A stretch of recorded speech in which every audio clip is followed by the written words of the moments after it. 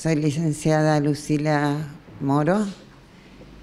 16 eh, años de mi vida trabajando con los adultos mayores y principalmente escuchándolos para poder tomar de ahí cuáles son sus necesidades reales, eh, cuáles son las falencias que tenemos para con ellos, eh, que pasan eh, por un montón de aristas afectivas, sociales, inclusivas y mucho más.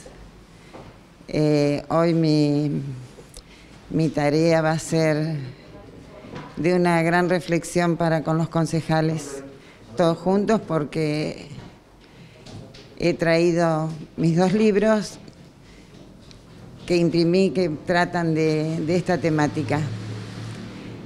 Y bueno, voy a hacer una presentación distinta, una presentación donde trataré de que los concejales rememoren a sus abuelos, a sus padres y se pongan en sus zapatos y piensen en esta bisagra que nos encontramos, que no somos jóvenes ni somos adultos mayores, pero estamos justo ¿Y qué esperamos? ¿Qué esperamos de la sociedad?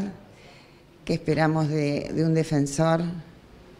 Y principalmente mi consigna está en la convicción que con educación y escucharlos se puede hacer muchísimo por ellos y por nosotros que somos los futuros adultos mayores.